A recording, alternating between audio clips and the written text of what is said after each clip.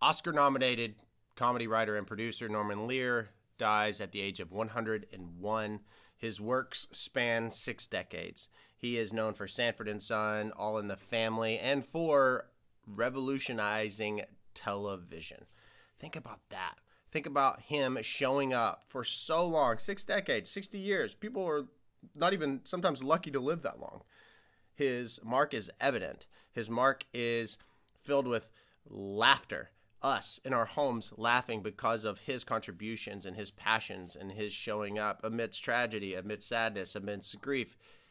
He turned to that, something which he was given the gift of, and he shared it for that long. May his memory be eternal. Let me know in the comments below if you know of those two shows, All in the Family, Sanford and Son, and Show Up. Leave your mark.